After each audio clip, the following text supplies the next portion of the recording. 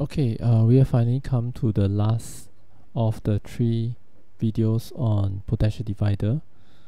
So without further ado, let's look at the contents again. Uh, we have already covered the first and second part, which is the what is a potential divider and how does it work, and what what are the application and users. So finally, we are at the last part, which is uh, what if the resistors are replaced by resistive wire, can we still apply the potential divider? Okay, so this is the question for the third part. So first of all, uh, let us look at the prior knowledge again. So again, you need to know the series parallel circuit, the Ohm's law, as well as the effective resistance. Uh, and also, we learn how to find the potential divider uh, V out using the formula which is V out equal to R2 over R1 plus R2 times V in. This has been covered in the first video. And then uh, on top of that, for this particular lesson, you need to recall the formula of R equal to rho L over A, which is taught in current electricity. Now, uh, the most important part of this formula is that you need to know that resistance is directly proportional to length. Okay, so uh, let's recap. Uh, first of all, how, what is a resistive wire? How do we consider it in uh, potential divider? A, potential, uh, a resistive wire in this case, uh, we have to consider that the cross-section area is constant. Alright. So if it is uh, constant, the only other factor that is affecting the resistance will be the length. So the resistance is only related to the length and you can effectively say that the relationship is directly proportional. How can we prove it? Uh, we can look at this equation again. Since uh, resistivity or rho and A are constant, alright, you can actually factorize it and you can consider this uh, expression to be similar to y is equal to kx, right? Because k is similar to your rho L over A. So if you study your math, you will know that you can actually say that y is directly proportional x. So similarly, uh, I can also say that r is directly proportional L. And if L increases, R increases, L decreases, R decreases. Alright? Let's move on. So let's consider this idea of uh, having wires of the same cross-sectional area. This is cross-sectional area. Alright. So if they have the same cross-sectional area but different length, and I give you that uh, if it's 1 cm long, it has a resistance of 10 ohm. Can you determine the resistance of the other three lengths? Obviously, if it is directly proportional, you realize that in the second case it will be 20 ohm, in the third case it will be 30 ohm, and in the fifth, uh, fourth case it will be 50 ohm. Alright, so nothing special. You can actually use the length to roughly estimate the the ratio between the resistance of the different length wire. Alright.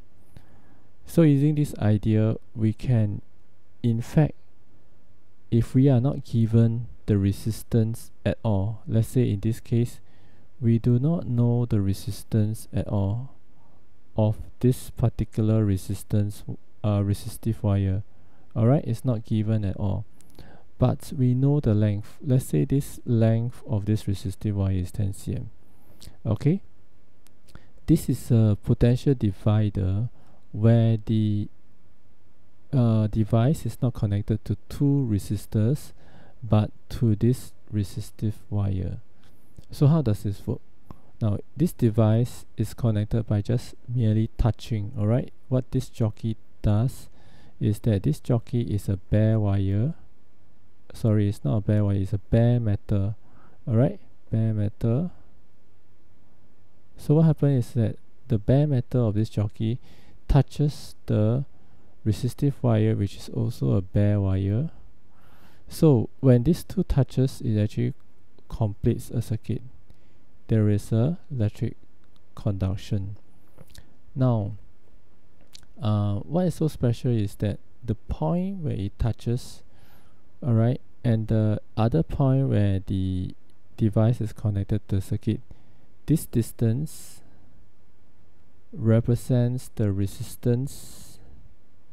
Alright since we are using R2 represents the resistance that the device sees. Alright and this one will be your R1 right do you remember? This one we put as R2 this one we put as R1 so uh, but we do not know these two values. So you don't have to find these values to solve for the output voltage. Let's say I want to find the output voltage. Alright? How do you solve for it? You don't have to okay? Because the length alright is proportional to the resistance. Okay? So if let's say uh, V out we are going to have to use the formula R2 over R1 plus R2 times V in. Now the problem is you do know this ratio right? But you know that because the length are directly proportional you can actually just simply use their length. That means this R2 is simply 1 cm and this R1 is 9 cm and then 1 cm again times 10 because their relationship is directly proportional they can be used as a way to replace the resistance because you are just trying to calculate the ratio between the length. Similarly you're trying to calculate the ratio between the resistances.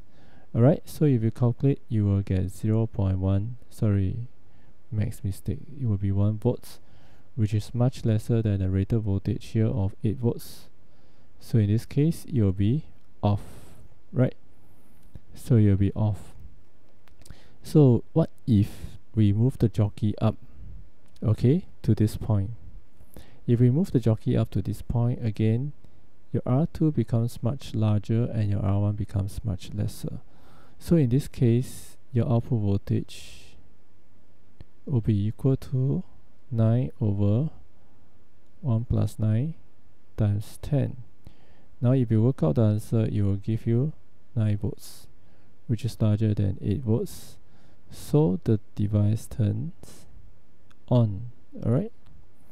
So you realize that just by moving the jockey from here to here you can actually turn on the device or make it even brighter in this case of a lamp now uh, some other interesting things you need to know is that this device has the ability to get both 0 to the maximum voltage possible.